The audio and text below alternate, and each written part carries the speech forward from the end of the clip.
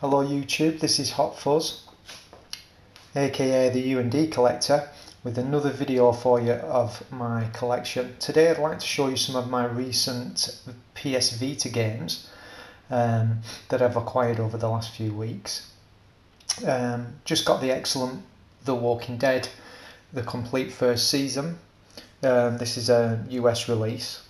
Um, really good game actually. I never got a chance to play it on the Xbox 360 or the PS3, um, but it's really really good title, um, and it's based on the original um, Walking Dead comics, um, and the the the animation and the graphic style in the game is is brilliant. It's amazing.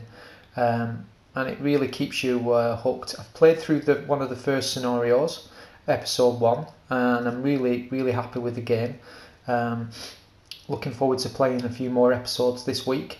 Um, there's loads of uh, trophies to unlock, um, and I think I've unlocked about nine or ten already. Um, so looking forward to playing the rest of this game. Really really good game, and it even comes with the original uh, 400 Days DLC, which was actually a, uh, an extra um, episode and that was only available on Xbox 360 and PS3 but now this comes included on on on the, the actual the PS Vita cart. So that's The Walking Dead. Um, I picked up uh, Harry Potter uh, 5 to 7 um, for the PS Vita because it was on sale in Asda for £10 um, which I thought was a cracking deal so I thought I'd pick that up. I've been looking online at this game and it sort of retails between um, average fifteen pounds and twenty quid. So I thought for for ten pounds, good good value. Um, I'm not a massive fan of Harry Potter, but the Lego games are really cool. It's a shame they didn't actually bring out um, Harry Potter years one to four um, for the PS Vita. Maybe that'll come later. Who knows? Uh, we might not even get it. I know it came out for the PSP, and uh, for some of the other consoles, but for some reason it just missed the PS Vita. It could just have been uh, the timing factor. So that's Harry Potter 5 to 7. Another really good game, uh, side scrolling beat 'em up, um, Batman uh, Arkham Origin Blackgate. Um, played this um, for about half an hour the other night uh, when I was on my break at work, and I actually couldn't get past the first um, mission where you've got to sort of have a fight with uh, Catwoman.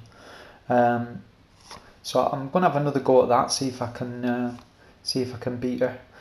I, I was tired though, so that's maybe a reason why I, I, I couldn't get the moves right. So that's um, that's the Batman game. Then we've got Spy Hunter. Um, it's actually quite a good game. This it had some bad reviews on the internet, but I never sort of try and uh, take on board reviews really as uh, you know I prefer to sort of play games myself unless it's a top top title and, uh, and then I do rely heavily on, on reviews on the on the internet. But it's a pretty understated um, racing game uh, and sort of slight um, shoot 'em up really in a way. Um, very very similar to uh, full uh, bat, um, full auto battle lines for the PSP very very similar game to that in the sense that you have like gadgets attached to your car and uh, you can blow shit up. So there you go. Spy Hunter and um, game that I acquired over the last few weeks. I did have the Japanese version of this, but this is actually um, Chinese region coded PS Vita game.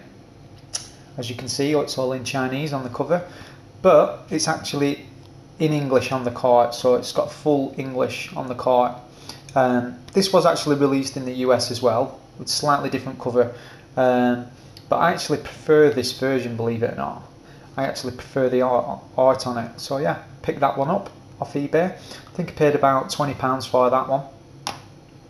And then lastly, we've got um, the Marvel Heroes uh, Universe in Peril um, big box uh, limited edition. This is this box here, and you can see it's quite huge. Got the game there, and then you've got this really cool playset which I won't be opening uh, as much as I do love Lego. Um, you got Iron Man versus the Mandarin Ultimate Showdown playset. Looks pretty cool, and it's all wrapped up in this really nice big box. Probably the biggest um, limited edition that I've got actually so far. Uh, it's even bigger than the PSP ones that came out. Um, just show you what it says on the back there. Defend the Marvel Universe against the most powerful villains ever assembled. There we go. That's all the art on the back. And that's it. That's it. That's my most recent um, Vita games. I will show you a few more of my Vita games um, in the near future. I do have quite a few Vita games. I think I've got about 30 plus at the moment. There's people on the internet that have got some massive Vita collections. Um, you know, some people have um, got all the, the US and all the English titles already. Um, I've just been picking up titles as I've gone along, games that I want to play really, to be honest with you, like I did with the PSP. So, thank you for watching. Um, this is Hot Fuzz signing out.